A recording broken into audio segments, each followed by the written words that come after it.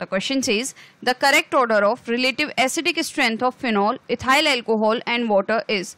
These are the given options. हमसे यहाँ पे इस क्वेश्चन में कहा जा रहा है कि रिलेटिव एसिडिक स्ट्रेंथ का correct order phenol ethyl alcohol और वाटर के लिए इनमें से कौन सा है तो फिनॉल के अगर हम स्ट्रक्चर की बात करें तो ये हम यहाँ पे इसका स्ट्रक्चर बना लेते हैं ये हो गया यहाँ पे ओ OH लगा दिया ये हो गया फिनॉल ये कितना अच्छा एसिड होगा, ये डिपेंड करेगा कि इसका जो कॉन्जुगेट बेस है वो कितना स्टेबल है। तो जब ये H प्लस लूज करेगा तो उस केस में यहाँ पे क्या होगा? फिनोक्साइड आयन बनेगा। तो यहाँ पे फॉर्म होगा फिनोक्साइड आयन तो ये यहाँ पे फिनोक्साइड आयन का स्ट्रक्चर हो गया। फिनोक्साइड आयन आयन अब ये जो फिनोक्साइड आयन होता है, ये रेजोनेंस से स्टेबलाइज्ड होता है। रेजोनेंस स्टेबलाइज्ड स्टेबलाइज्ड तो इस वजह से ये जो फिनॉल होता है इस, इसकी जो रिलेटिव एसिडिक स्ट्रेंथ है वो इथाइल अल्कोहल और वाटर के कंपैरिजन में सबसे ज़्यादा होती है। अब अगर हम बात करें वाटर के केस में तो अगर हम इसको इस तरीके से भी रिप्रेजेंट करें या अगर हम सिंपल एच टू ओ भी लिखते हैं तो हमें पता है कि जब इससे एच रिमूव होता है तो उस केस में हमारा ओ एच यहाँ पे बचता है ओ एच नेगेटिव तो यहाँ पे हमारा बन गया hydroxide ion hydroxide ion ion water से रिलीज़ हो रहा है। ये जो हाइड्रोक्साइड आयन है, ये कंपेरेटिवली ज़्यादा जो है स्टेबल होता है एज कंपेयर टू जो इथॉक्साइड आयन बनता है इथाइल एल्कोहल से। यहाँ पे हम उसको भी समझ लेते हैं।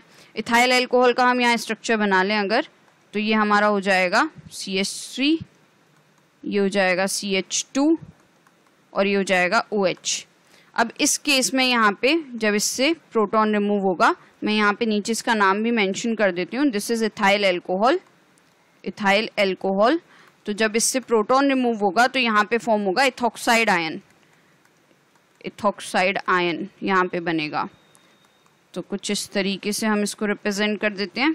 तो ये हो गया हमारा इथॉक्साइड आयन इथॉक्साइड आयन अब ये जो इथोक्साइड आयन है, ये जो इसके साथ में ये जो C2H5 ये ग्रुप अटैच है, इसकी वजह से ये जो है डिस्टेबलाइज होता है, क्योंकि ये क्या करते हैं, ये तो इलेक्ट्रॉन रिलीजिंग ग्रुप इसके साथ में अटैच है।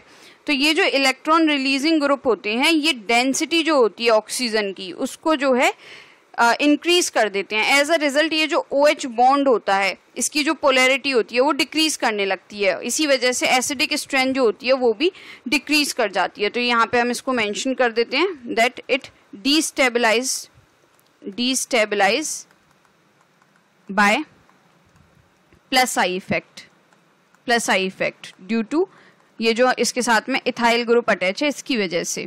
इथाइल चेंज हुई अटैच है इसकी वजह से।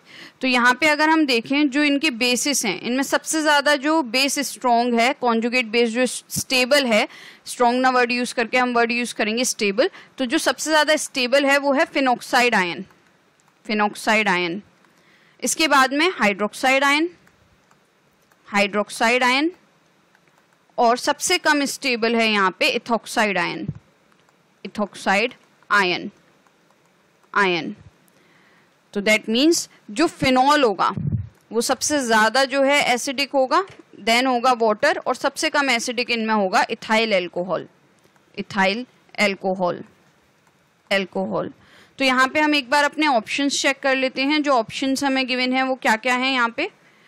तो यहाँ पे जो हमें ऑप्शंस गिवन है, उनमें जो हमारा ऑप्शन ए है, वो करेक्ट आंसर है. So I'll just conclude it here now I'll just write this at the end that the correct answer is the correct answer is is option A. Option A. I hope you understood the explanation. Thank you